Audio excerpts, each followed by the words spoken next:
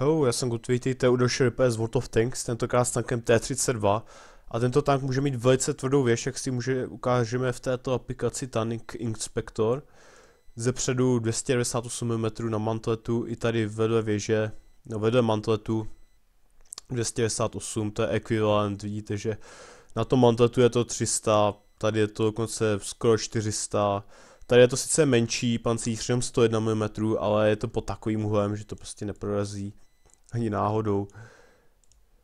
Boky jsou taky velice silné na rozdíl od jiných věží, třeba těch amerických, co jsou silné ze předu, ale ze, z boku to není takové, tak 197, což je více než má třeba taková M103 na většině předku věže. Tady 152, to už je tedy horší, ale pořád je to poměrně slušné. To je stejně nebo možná i víc, než má Centurion 7.1 ze předu. A tady taky na tom druhém konci, tady je akorát teda takové slabší místo. Tady je totiž ten výlez pro, nevím koho to je, asi nabíječe. A tak to má jenom 101 mm, ale jinak celkově velice dobrá věž a když není artilerie, která se může opravdu ze zora krásně rozsekat, tak opravdu můžete být velice efektivní. Víte, že ten předek má sice jenom má 127 mm a ekvivalent je to přibližně nějakých 200 mm průbojnosti na to potřebujete, takže většinou až s takovým dílem, co má Tiger, to probíte. Spoňpad je tedy slabší, ale není to tak velký cíl a pořád je to pro ně slušné. Měl pochopitelně ještě kopule, to je prakticky jedno z nejdůležitějších věcí. 152 mm má ovšem pod slušným úhlem, takže tady vidíte ekvivalent, je to 199, potřebujete průbojnost takovou, což pro ně je dost vysoké a není to až tak velký cíl. Pak je tu tedy ovšem takový to malinký pruh, který má nějakých 101 mm. Ovšem to je velice, velice těžké trefit. Navíc je to ještě předtím je tento jakýsi pancíř, či co opravdu to není, není lehké trefit a probít. Neříkám, že se to nedá, dá se to. Zvlášť pokud máte nějaká děla z hity, jako třeba T54, ale není to a vůbec lehké, když, se, když to nepřítel trošku stěžíte a budete se lehce pohybovat. Musíte si samozřejmě tady dát pozor na tento, toto slabé místo, to má sice stejný pancíř jako všechno ostatní, ovšem ten úhel je tam velice špatný. Tak víte, že tady prostě ekvivalent nějakých 200 mm a tady je to jenom 130, tak to je poměrně hodně slušný rozdíl, ale tam vás také netrfí až tak často, je to spíše náhoda. No, věci na papíře jsou a věci na papíře a přece jenom praxe je praxe, že ano. Tak pojď si to tady neukázat v praxi. Je to tedy za těch naprosto ideálních podmínek, kdy tady není žádná FV 215B 183 a hlavně žádné artilérie a je to na mapě Prochorovka. Maxima je pár týrů 9, tady je jenom 3. Což teda je víc než pár o, jedne, o 50%, ale to řešit nebudeme, protože v dnešní době se pár používá ve více významech. Máme šanci na výhru 50%, což není zrovna ideální, protože to znamená, že muset odvést nějakou seriózní práci. Když se na to kouknete a vymažete si tady mě, tak jako ty barvy jasně ho, hovoří pro ně úplně prostě jasně. My ten, ten náš tým strašivě prostě ty statisticky záleží na mě a na tom je strojce, úplně se to strašně u nás opírá. Takže my tady musíme odvést opravdu seriózní práci a taky ho, hlavně hodně rychle, protože mít takto nevyrovnaný tým znamená, že musíte pracovat opravdu velice rychle, protože on většinou se rád rozteče a než, když se pak rozteče a vy jste sám proti tím třeba šestizédným tankům, tak jako je úplně, můžete mít statistiky třeba, já nevím, třeba modrozelený, jasně vám to nepomůže. Nebo nějaký růžový, nebo něco takového, že jo. Takže já jsem tady najel do pozice, kter, za které jsem chtěl velice, no, trošku objevit nepřítel, což se mi podařilo. Objevil jsem tam i baze raketáka a on byl hlavní důvod, proč se mi tam ta pozice trošku přestala líbit spolu s tím, že třeba by se mohli sem dostat až sem a mohli mě pálit do boku. To by se mi také moc nelíbilo. A tady jsou tady ty, tyto dva zelení hráči, kteří vypadají, že by potřebovali trošku schladit, je jim asi horko, tak se tady nějak hodně hejbou, až moc nepříjemně blízko našim pozicím. A tak jsem tady já přišel se sprškou studené 105 mm rány a trošku jsem schladil toho Pantera 2, který ovšem je mu asi veliké horko, protože mu to nestačilo a tak jsem musel schladit znovu. Tady už vidíte, rybák mě trefil, ani nevím kam, ale prostě odrazil jsem to. Jada Panteru také, asi to byl nějaký opravdu horký den, já už to nepamatuju, ale ty nepřátelé mají opravdu velik, hodně horké hlavy a chtěli, potřebovali skladit i trošku více. Já vás už právě tady nechci až tolik vyjíždět, protože se mi to teď trochu trhlo, ale to nezáleží, protože to, když tam bych vyjížděl a natáčel tu věž na tu TLC9, tak už takový rybák má dostatečnou přesnost na to, víc než dostatečnou na to, aby mě trefil někam sem, kde by mě už probil bez problémů. Já jsem se 5 i jsem ji trefil poměrně dobře, ale bohužel průběžnost té 30 není až tak úplně úžasná a tak to bohužel neprobilo. Teda co jsem prototype mi poškodil dělo, které jsem zatím nechtěl opravovat, protože jsem nevěděl, jestli se mi nestane něco horšího a v tuto chvíli jsem ho až tak nepotřeboval, tak jsem zatím ještě, zatím ještě neopravoval. A rozhodl jsem se přesunout do další pozice. Za mnou byla ta IS-8, která by za chvíli mohla dorážet a chtít mě trefovat třeba do zadku což by se mi absolutně nelíbilo. Tady byl ten terocejtka, ten rybák, tak jsem se rozhodl, že popojet sem a pokusit se objevit toho rybáka se mi zdálo jako takový nejlepší nápad. Ovšem teď bych zase riskuoval, že mě může trefit ta terocejtka do boku, věže, a tak jsem si ne, nebyl úplně jist, co mám dělat. Ještě si můžete všimnout, že naše IS-3 je mezi prvními mrtvými, což teda rozhodně moji pozici tady nevylepšilo. Já jsem se rozhodl teď zase úplně, úplně změnit pozici a přijet a pomoct tím, tady to jsou na kopci a pálit do boku. A tady jste viděli tu odolnost té věže, tady myslím, že mě trefil rybák. A i přesto, že to bylo do boku a přes jeho průbojnost to prostě neprobilo, což je naprosto excelentní výsledek pro mě. Tady bohužel a bohudík T34 vybouchla tu VZ131, bohužel, bohudík, že je zničená, bohužel to mohla udělat o dvě sekundy později, až bych ji trefil, ale na tom v tuto chvíli nesejde. Dobře, že VZ131 je mrtvá, za to jsem v tuto chvíli rád, protože ta bitva se možná může zdát více či méně vyrovnaná, ale to je jen taková iluze, než to začne všechno sypat, což se stává, když máte takto, jakou to šanci na výhru a takto nevyrovnaný tým. Celkově bych řekl, jako můj názor na té 30 je to pro mě solidní tank, který bohužel má poměrně hodně nedobré pásy. Ty prostě jsou katastrofální ty pásy a to tanku to je asi nejhorší věc na nich, prostě oni se otáčí strašně pomalu a mají hrozně velký odpor, takže ten tank je taková spíš pojízdná cihla než nějaký mobilní tank, jak se to může, jak se to může zdát, když jakoby nehrajete za ten tank.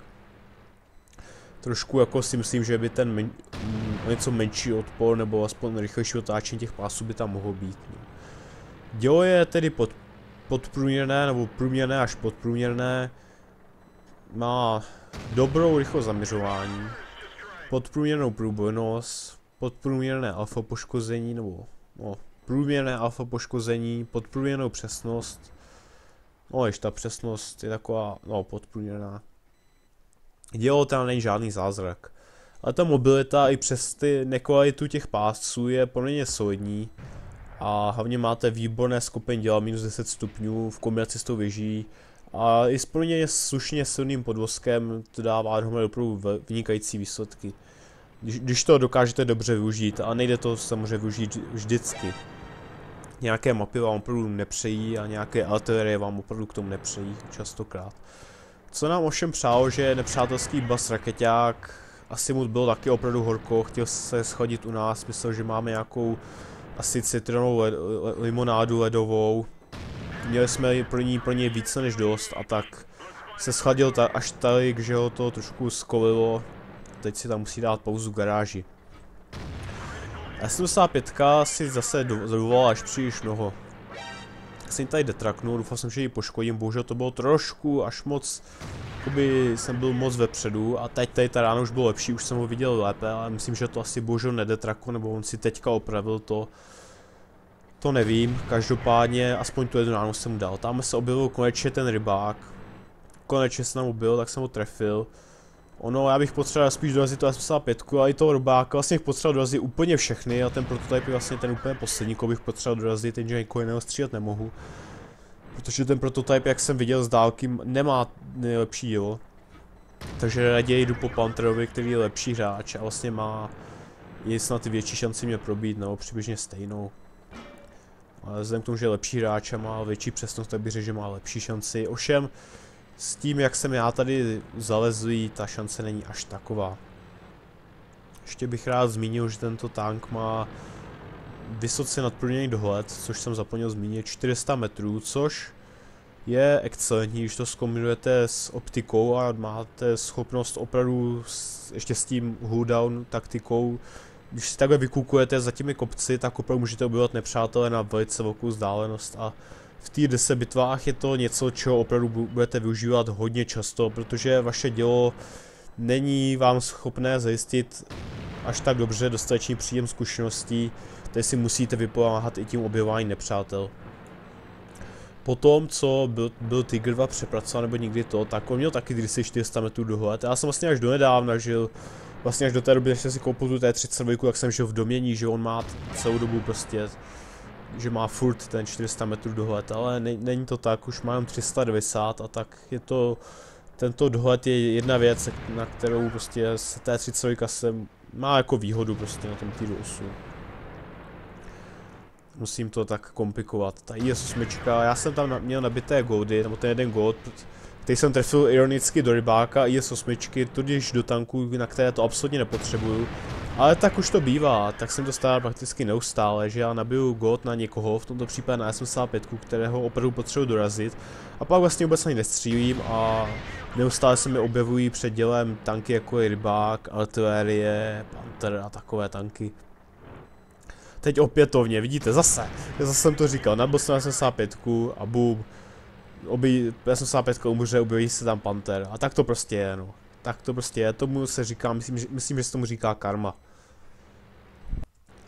Tak jsem se krásně vysmrkal, že by mi mohl mít, mohl by mi být, no, prostě trošku víc by mi mohl být rozumět. Ale asi ne.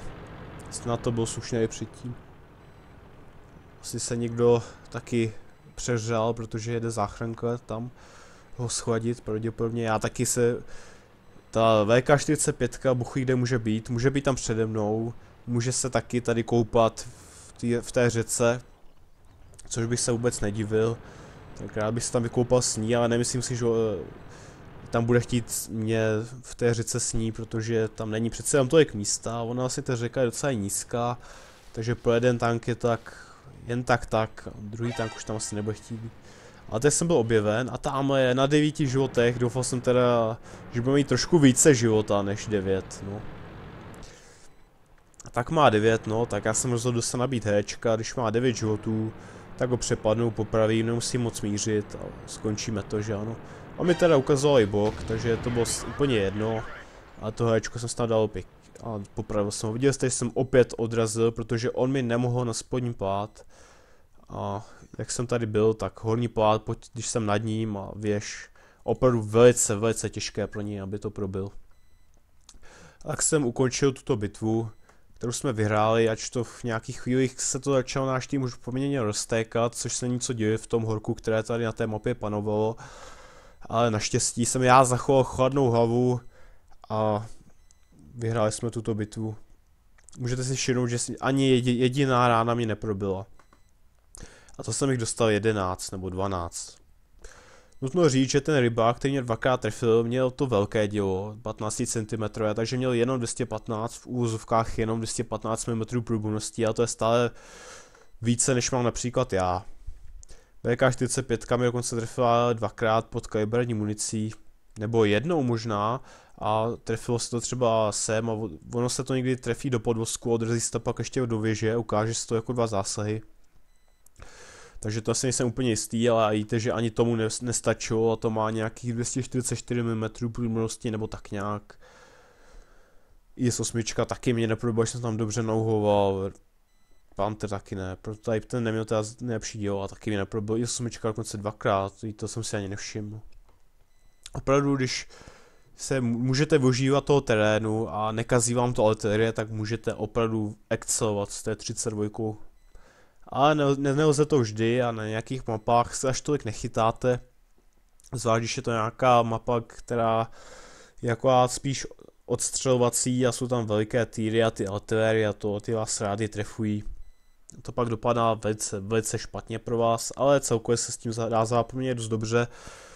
On ten tank ovšem není, jak jsem říkal, až tak šíleně zábavný, hlavně kvůli tomu, jak ty pásy jsou prostě ne až nekvalitní, špatné jsou a děle podprůměrné, tak spousta lidí ho nehraje ten tank až tak ráda, ale je to solidní tank, jen musíte využívat ty jeho správné přednosti. Takže pokud se vám toto video líbilo, dejte like, já jsem Gotvi a čau.